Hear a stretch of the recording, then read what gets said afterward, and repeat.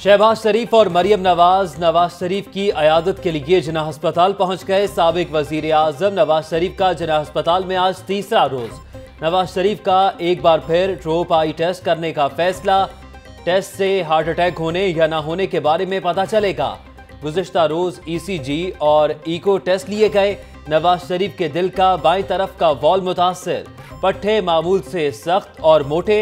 Lahore news को report मौसूल। Medical board तिब्बी मुआयने के लिए आज फिर मुशावरत करेगा।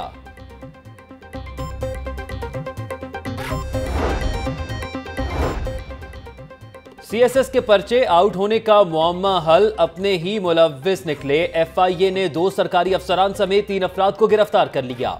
लाखों रुपए के एवेज इम्तिहान से चंद घंटे पहले पर्चा आउट करते थे। तहकीकात में इंकशाफ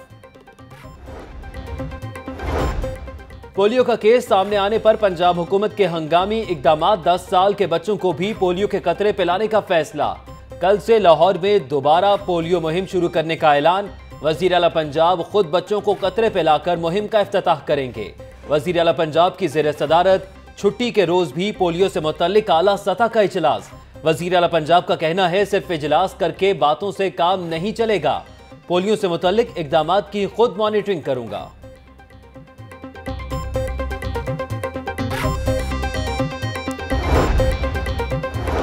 स्कूलों में नए कमरों का मामला लटक गया। महकमे का फंड्स दूसरे मंसूबों पर खर्च करने का फैसला। 10 अजला को तीन अरब के फंड स्कूलों में नए क्लासरूम्स के लिए जारी हुए थे। महकमे स्कूल एजुकेशन का फंड्स रोके जाने का मुरासला। पेफ पार्टनर स्कूल तालीमी बोर्ड से रजिस्टर्ड नहीं। नौवीं और दसवीं के तलबा की इम्तिहानी फ़ीस जमा न करवाएँ। पंजाब एजुकेशन फाउंडेशन ने फ़ीस जमा करवाने से रोक दिया। फैक्ट्री एरिया में तहरे कत्ल की वारदात, मरने वालों का ताहाल, पोस्टमार्टम ना हो सका, जख्मी कांस्टेबल वक्कार बरकत की हालत नाजुक। सीसीपीओ बी ए नासिर और सीटीओ लियाकत अली मलिक की जनरल अस्पताल आमद। जख्मी एसएचओ अतीक डॉगर, एहलकार मोहसिन उस्मान और वक्कार की अयादत की। पुलिस एहलकारों के हौसले बुलंद हैं। एहलकार लोगों की जानो माल की हिफाजत करते हुए जख्मी हुए। सीसीपीओ बी ए नासिर की गुफ्तगू।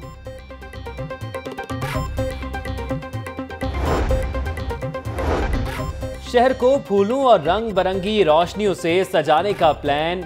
मेले, ठेले, आतिशबाजी, मुशायरे, musical show, bird show, cut flower और मैराथन मुकाबले।